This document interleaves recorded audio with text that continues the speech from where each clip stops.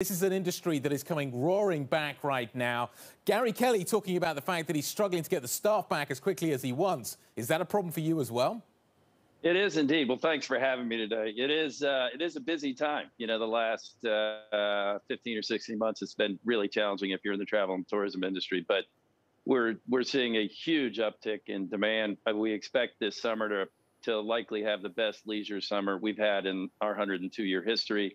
Uh, business travel, uh, while it's still behind leisure, is starting to come back. Even group business is starting to come back. And hmm. really important day. I'm here high atop the, the Las Vegas Strip, where we're going to open, as as you guys suggested, 3,500 new rooms, the the newest, best, most innovative rooms in Las Vegas. And so, yeah, the the business is on the mend, and uh, particularly here in the U.S the slope of the recovery is quite steep, much frankly much steeper than uh, than we thought it would be. And to Gary's point, certainly one of the biggest issues that we're having uh, having and, and are tackling and and and getting resolved uh, ultimately because we have to is, is labor. You know, mm-hmm. we, you know the the reality is things have recovered much more quickly than any of us would have expected.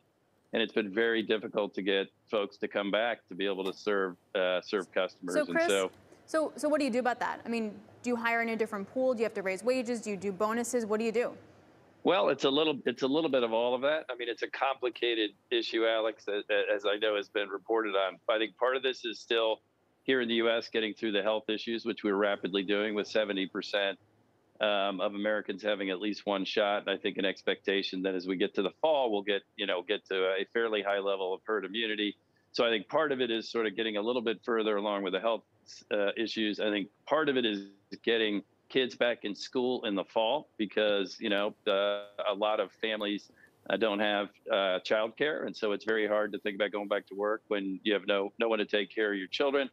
And then there is a degree to which, as we as we you know as an industry look out there, the unemployment insurance from the federal government that made so much sense a year ago is making less sense today. Because a year ago we had no demand, there there weren't as many jobs now we have more jobs, more demand for jobs uh, than we have people that want them, and and so unemployment insurance, um, which does expire in September, is is definitely having an impact as well. When you put all three of those things together, it makes for a challenging summer, you know. And so we are doing things as you described, obviously paying higher wages, signing bonuses, um, and, and and a number of other things. I do think as you get into the fall, because of the things I just described that a lot of the pressure is going to abate. And for Hilton, you know, a, a, little plug for us, you know, we're three years running the number one great place to work in the United States, the number two great place to work in the world. So the ultimate solution is having a really great culture that attracts and retains the best team members in the industry.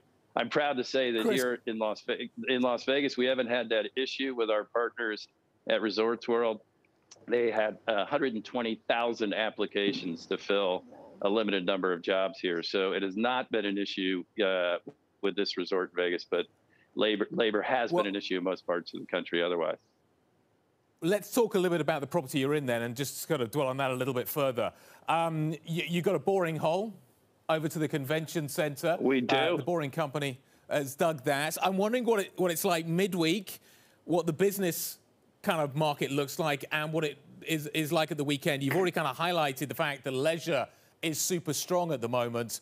When do you think business comes back properly? How do you think business comes back? What does yeah, the convention business look back. like longer term? Okay. First of all, first of all, in the boring hole, in an hour, I'm going to be in a Tesla in the boring hole, going from Resorts World to the convention center. So it's it's uh, I haven't seen it yet. I I've seen videos of it. It's absolutely spectacular, and I think it's going to be incredibly unique here in Las Vegas. And and just the location of Resorts Resorts World which is directly across, not notwithstanding the the bore, uh, you know, the the boring underneath the road to connect it. It's right adjacent to the convention center. It's gonna be great. But to your question on business travel, group business, which the whole country depends on, and certainly, you know, our company and our industry depend on, and Las Vegas depends on, you know, particularly on the group side. It's coming back. So as I said, leisure, I would say right now is over 19, 2019 levels. It's a hundred plus percent, uh, both in occupancy and rate or RevPAR.